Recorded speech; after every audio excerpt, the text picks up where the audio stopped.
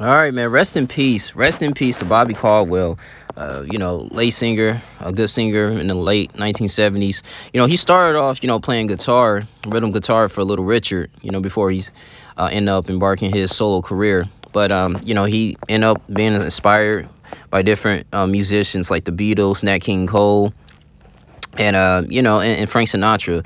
But I love that song. What you what you want to do for love? That was really good, man. Great song, and I remember um, what they was saying like he was in TK Records located in Miami, Florida, and at one particular time, man, you know when he was you know blowing up in the R and B format, they was like, oh shoot, you know for this platform, man, you know people want people to think you're you know black and stuff. You don't want to think you're white, so like get the exposure. But um, at one point, I was like, man, Bobby Caldwell, he's a he's a white man. I mean, because you know he sound like he sound like a brother, you know, when he's uh singing you know, on one of his tracks though. But when I heard about this man, you know, he died. I guess died peacefully, died in his home. Uh, I think Mary Caldwell she tweeted that talking about uh, his status and uh, he died in his arms. I believe he um, he was suffering from his health um, about six years, you know. So, um, but the good thing is, man, you know, his music will always live forever. I listen to him sometime when I have my little mix on YouTube.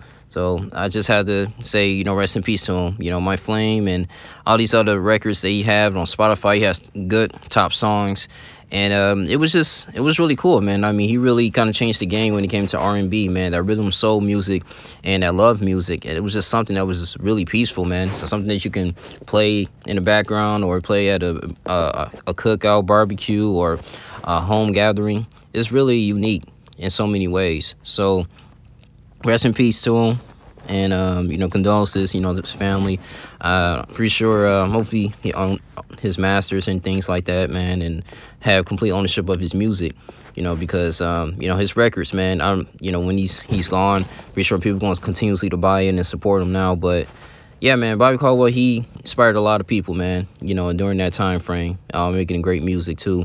Uh, Jackson 5 and all that stuff. So Michael Jackson was popping and Prince. So, I mean, this was a pivotal time in music, and uh, he's an icon. So I just want to give my respects to him. Uh, well-renowned singer.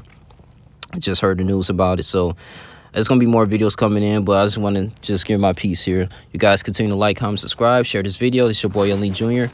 I'm out. Deuces.